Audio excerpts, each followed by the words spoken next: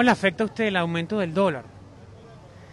Bueno, en todo, en todo, porque, eh, o sea, ¿cómo te puedo decir? En todo, absolutamente todo. Suben los precios. No nos alcanza el dinero. Se- eso se, se, se vuel- se- se desaparece como pólvora.